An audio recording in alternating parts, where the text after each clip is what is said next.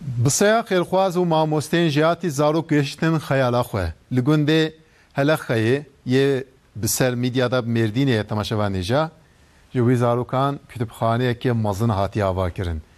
Bi xêra wan zarokên duwazdeh gundan dê vê xavînê kitaban bixwînin. Li gundê Helexê yê Midyadê ji bo zarokan ji xeynî dibistanê cihekî ku her nê tune bû.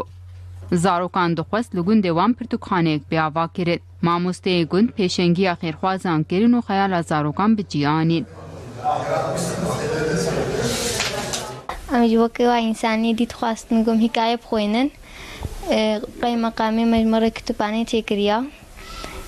me teşekur kir.